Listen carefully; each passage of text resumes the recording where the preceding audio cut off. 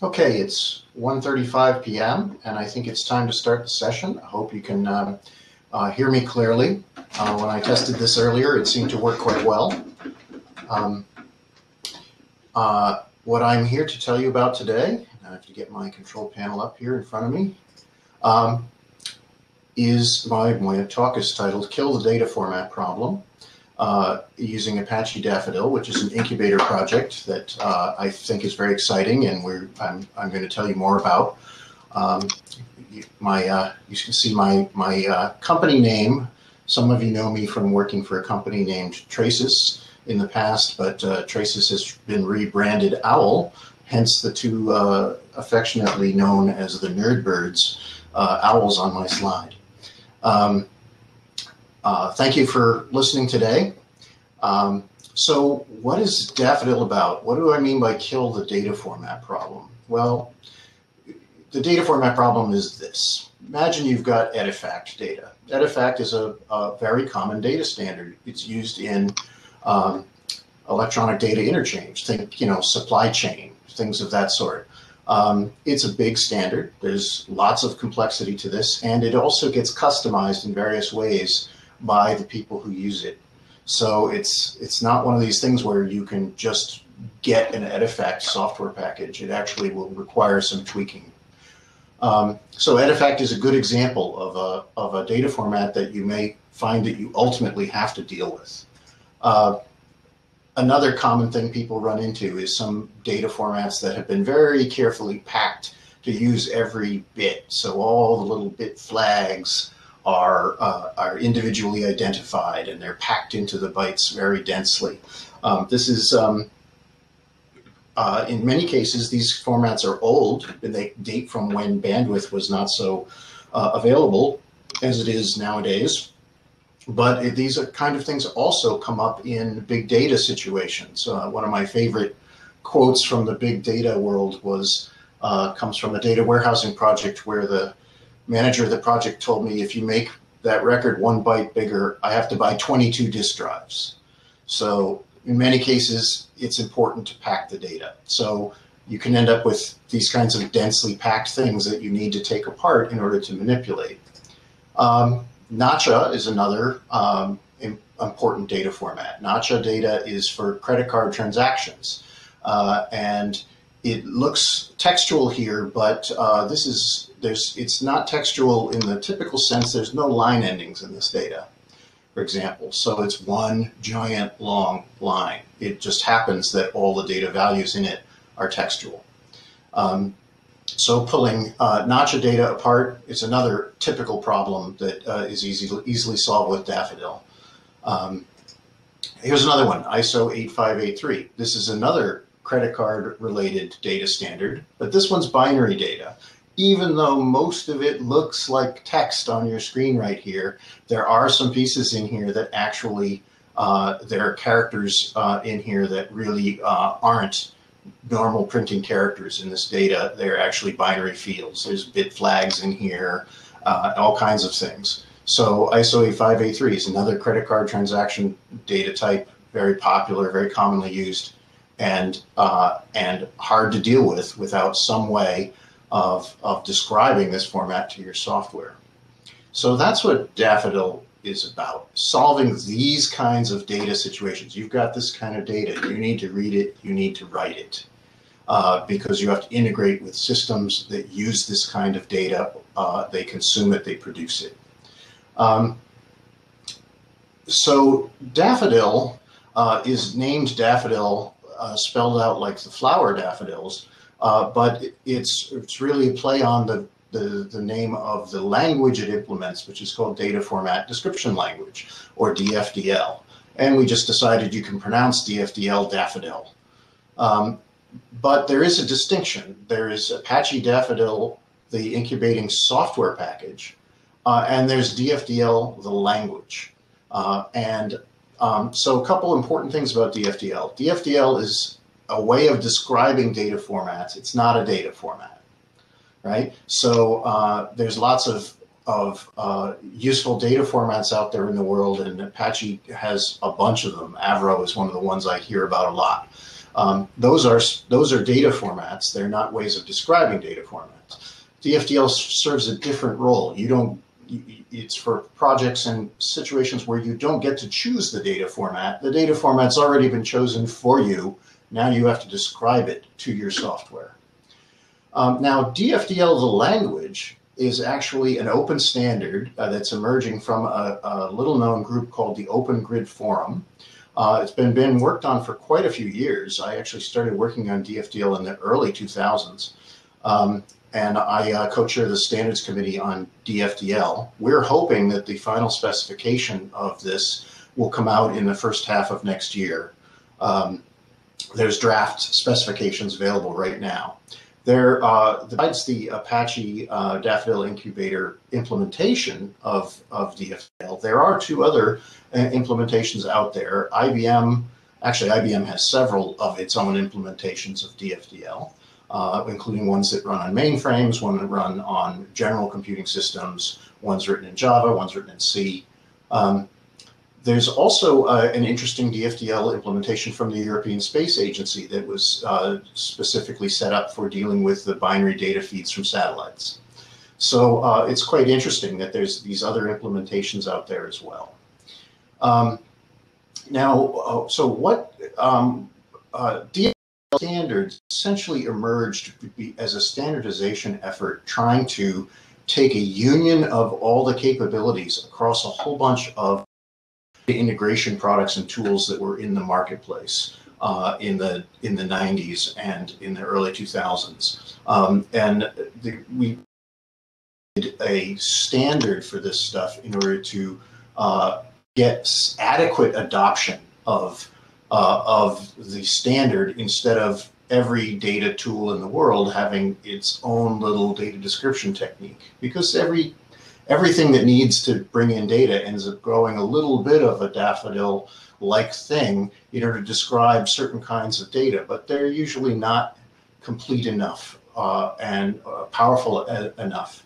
And DFDL is quite powerful, quite capable, and really represents the union of what you see across marketplace of data integration products and tools for intake and export of data.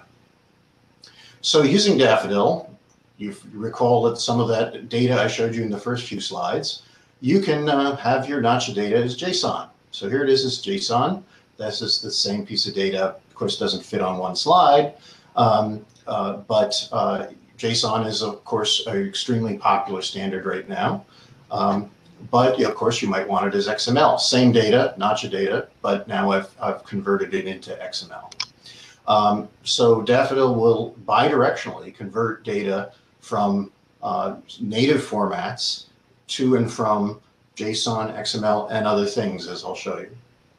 Um, so to give you um, an idea how this works, I'm going to, in just four slides, create a tiny little DFDL schema. A DFDL schema is the, the, uh, the thing that is a format description. We call it a schema. Um, and uh, I'll show you a teeny little example here. So here's some delimited text data. Okay, this is a, a completely made up example, but um, it's got a couple of numbers in it, and it's got these tag-like things, uh, uh, R-limit and RPNGX, telling us what these data fields are. Um, so um, the first thing is the um, you can see there's a couple of there's a couple numbers in here. One's an integer, one's a floating point number, uh, and then there's the other stuff around it. Uh, in DFDL language, these tag-like structures are called initiators. Uh, there's a separator separating the two uh, numeric fields here, which is this semicolon in the middle. Uh, and then there's a, the second field, of course, also has its initiator. So those are the characteristics of this particular data format. Now, the red part that I've shown here is uh, in Daffodil speak is what we call framing, and the black is what we call content. Um, these separators and initiators um, are delimiters, uh, which are part of the framing. Um, these are just some of the terms that you find in, in Daffodil.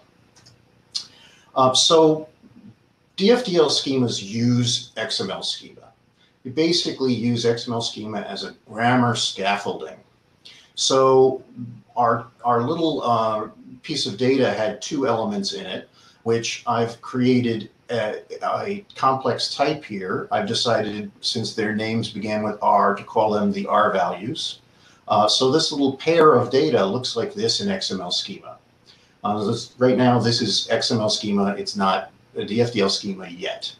It's just describing the logical elements. Their R limit element uh, uh is an integer. The RPNGX, whatever that stands for, is a floating point number. Um, so to make this into a DFDL schema, we add these annotations to that schema. The, at the top here, we have a block of format annotation that uh, covers things that apply to the entire schema, which often is much bigger than a little definition like this. But uh, so this is representation text, textual data as opposed to binary data. Uh, it has standard text numbers, which means the numbers are made up of the usual digits. Its encoding is the ASCII character set. Um, the length kind is delimited, um, so uh, there's a number of different ways the length of data can be determined. Uh, and then those apply across the entire uh, schema. But then I decorate also the specific uh, complex type here for my R values with the properties directly on it that are particular to its uh, intricacies, like the sequence of two elements, they're separated by a semicolon. You can see that the uh, R limit and RPNGX elements each have an initiator, which uh, is, is uh, listed here. Uh, these things are called uh, DFDL properties. In particular, these are what we call format properties.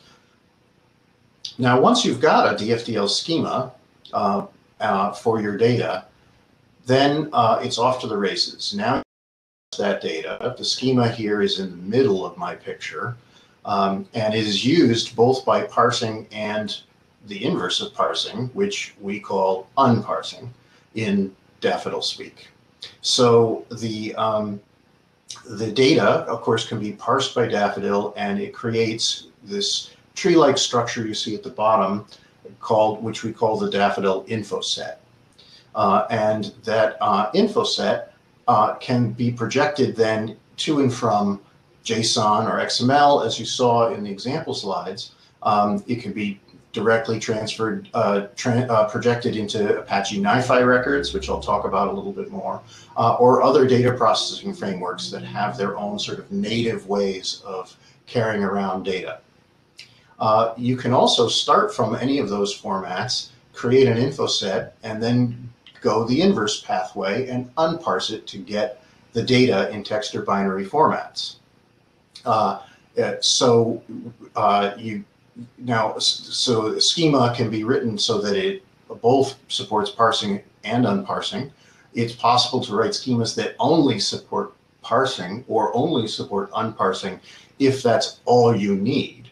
But most schemas uh, are um, going to try to capture everything about the data format so that they're highly reusable uh, for both parsing and serializing or unparsing uh, the data format. Um, quick note on the term unparse, which does bother some people. We use the term unparse because the, the common other terms for this are marshaling or serialization. And both of those connote a, um, uh, a serial process that we didn't really want to talk about in the DFDL standard. Um, it's possible, for example, using DFDL to build a access to data.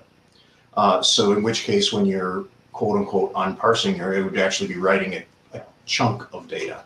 Uh, so uh, the directions here are parse and unparse in some sense, and that's why we coined the term unparse. So, uh, so the the next question that comes up, of course, is if I can parse data and I can unparse data, great. Uh, where do these schemas come from? And the answer is you can write them, or you can get them. Uh, and there's sort of three kinds of, or two kind of ways you can get them. You can find them published.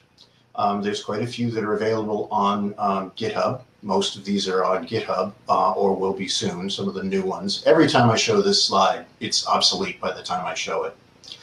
Um, so there's a, there's quite a bunch of them and they cover everything from images and credit card data and uh, Edifact and some point of sale things. And uh, there's a few, quite a few um, that have to do with uh, mapping and imagery.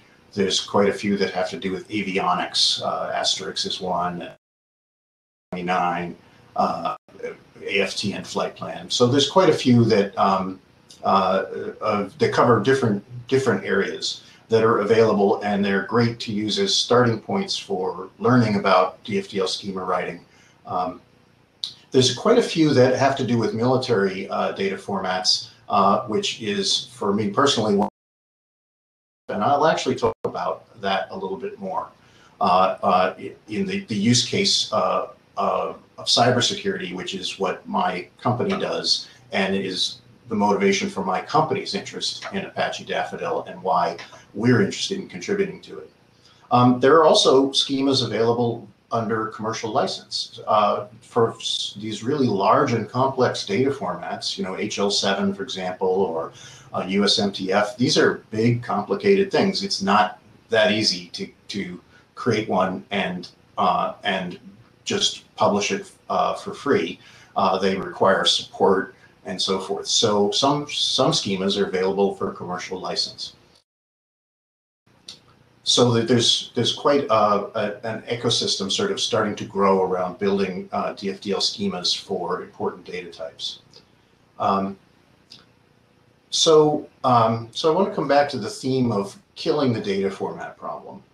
So we've got this system that I've talked about, Apache Daffodil, there, and this um, uh, and this standard, and that's really about the structure we have for trying to kill the data format problem, which is you really do need two things to kill the data format problem. You need an open standard language that everyone can have a of and that has multiple implementations that interoperate um, and with sponsors uh, behind it, uh, which includes um, IBM as well as uh, the US DoD and Canada DND.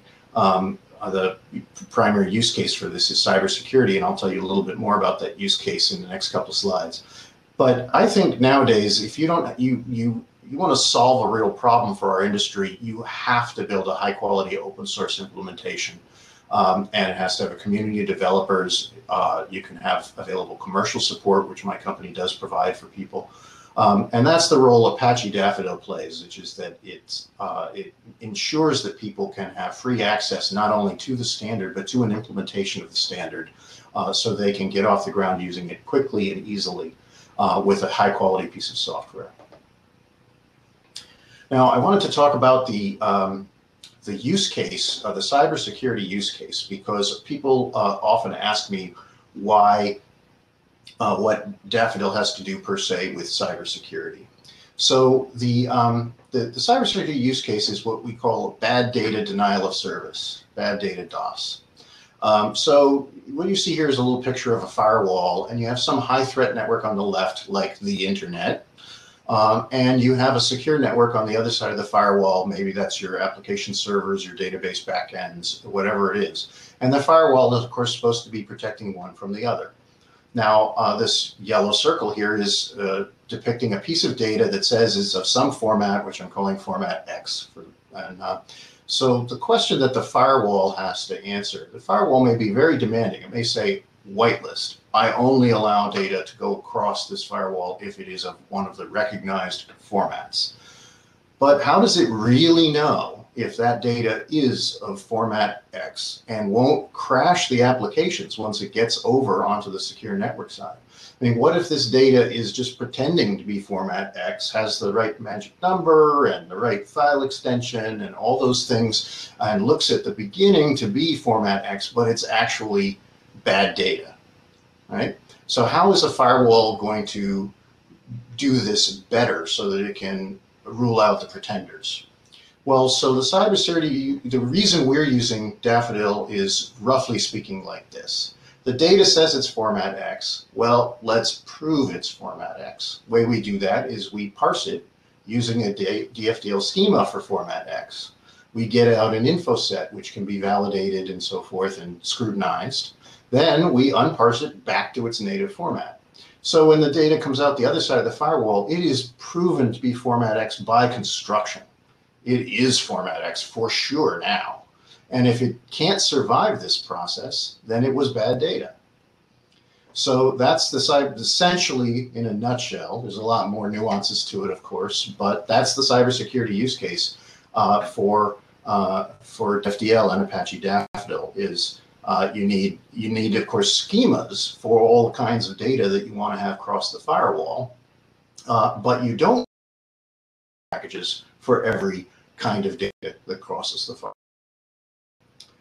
Um, now I want to talk uh, quickly Daffodil because the purpose of this library is to be integrated into other software packages that provide the manipulation fabrics for data of all kinds. So one of the ones that's popular is Apache NiFi, and we have uh, now a what I call a native integration, and I'll talk a little bit more about that in the next couple of slides. Um, we have an Apache Spark integration that uses uh, converts data to XML and hands it off as XML to Spark. I'd like to upgrade that to a native one. Um, there's an XProc engine, which is a XML transformation pipeline tool called Calabash. There's a Daffodil integration for that. A company called Software AG has done an integration with their product called Integration Server, which you might have heard of. It used to be called Web Methods. Um, our, my company's products embed uh, Apache Daffodil. Other companies' products are embedding uh, Apache Daffodil. Um, there's a lot of uh, important potential for native integrations into a variety of the processing fabrics and utilities that we have in the Apache Software Foundation projects. Uh, Spark, Flink, Beam, Hadoop, I, all these things can benefit tremendously from using DFDL uh, and Daffodil to provide access to the kinds of data that are otherwise quite hard for them to cope with. So let me talk quickly about um, NiFi, just as an example of how uh, an integration works. So uh, I realize this diagram isn't that easy to read, but on the left, you, there's a Daffodil parsing. Um, this was a little example flow we built. It's actually parsing PCAP data, which is rel relatively easy to parse. Um, uh, and feeding it through and unparsing it again on the other side. Uh, and there's a transformation in between. So um, the question is what moves on the arcs between the daffodil parse component and the transform component? Um, and the and recently a, a, direct native data and metadata bridge has been built for NiFi. So this bypasses all the XML and JSON overheads basically you have two parts to this thing. There's a metadata bridge, which runs essentially at, at compile time or startup time of the job. Uh, and that is able to project a DFDL schema into a native NiFi record schema, uh, allowing, uh, so it's a metadata mapping. And then of course at runtime, the data bridge converts the DFDL infoset tree in directly into a NiFi record, a native NiFi record uh, and so that the data can be carried through uh, NiFi flow in the most efficient way, uh, which is NiFi's own native record format. Uh, similar kind of native integration with these two parts, the metadata bridge and the data bridge, uh, can be done for any of the big data frameworks. Um, they, they, all, they, have a, they all have some sort of way of native carrying structure for data. Uh, and uh, the metadata bridge and the data bridge can be built for those, and then they would have a native they would have a native adapter adapter to anything described. Um, okay, so um, popping up to sort of uh, procedural things, Daffodil's an incubator project, right? Now for three years since September 2017, we've had seven Apache releases.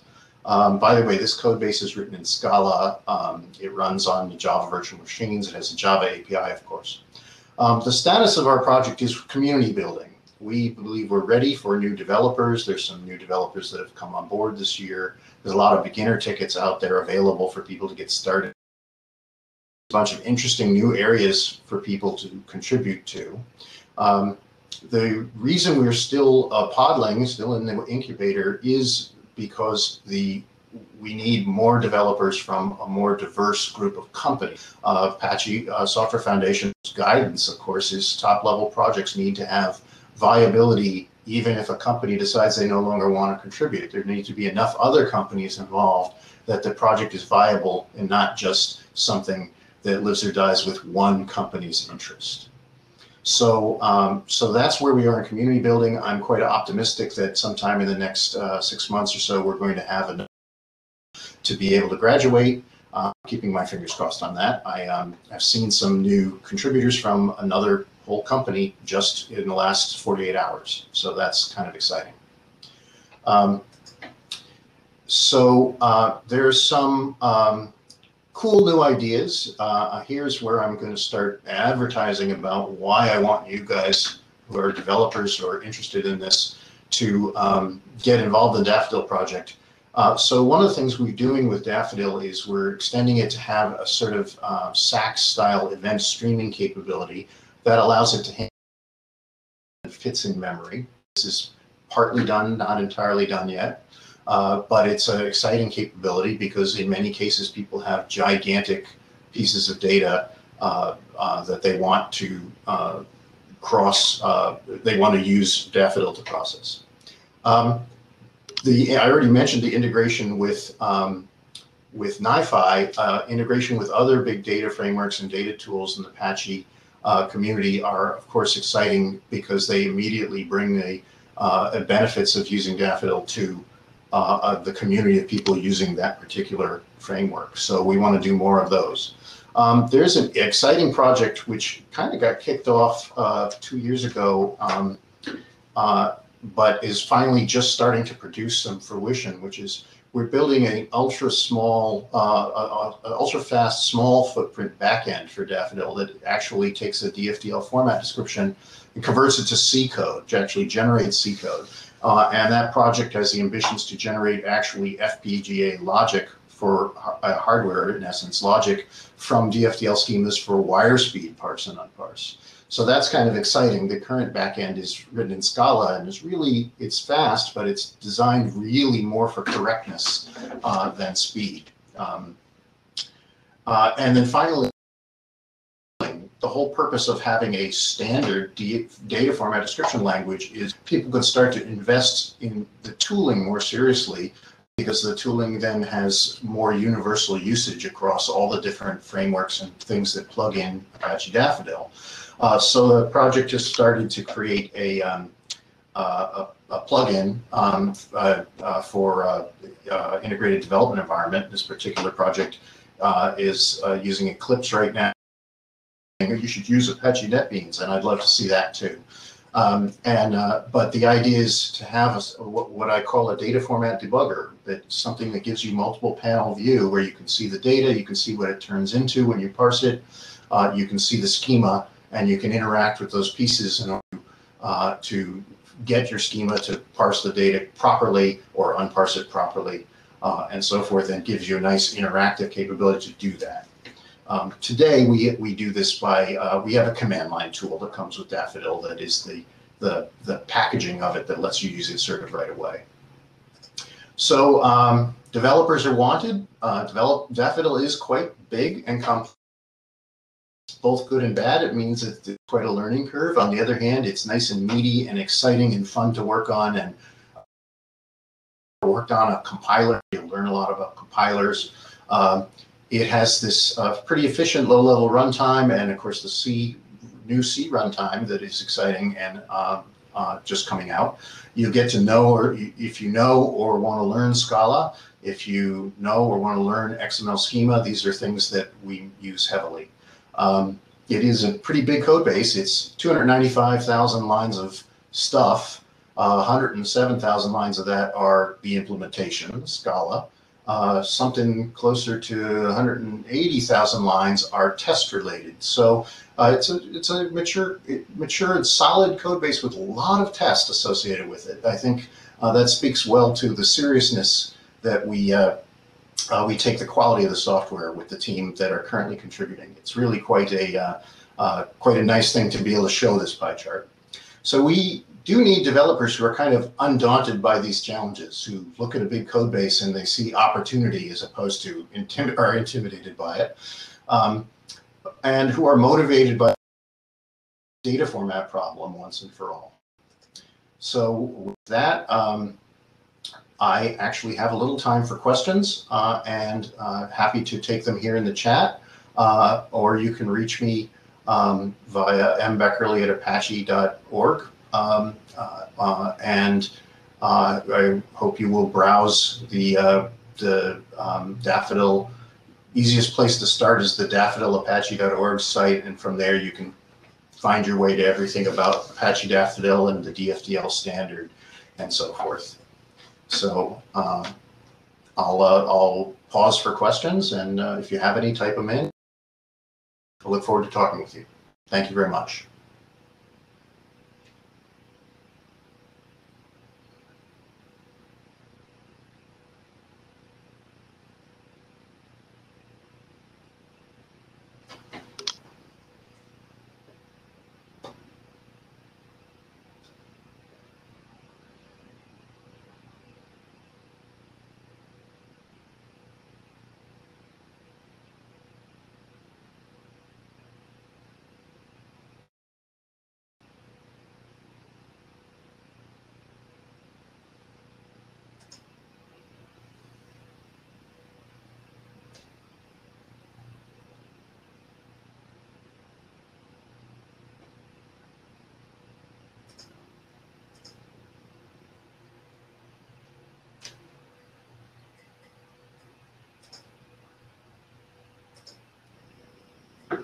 Looks like my video froze for a period of time.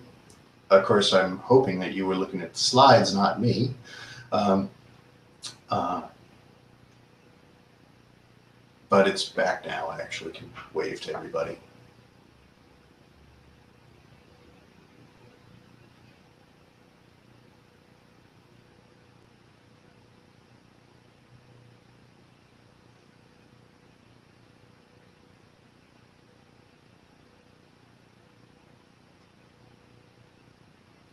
Okay, well, if there's no questions, I guess I'll wrap it up and you can go on to enjoy some more of the ApacheCon sessions. Uh, look forward to talking with people on emails or other chat channels. And thank you very much for uh, uh, thank you very much for uh, listening.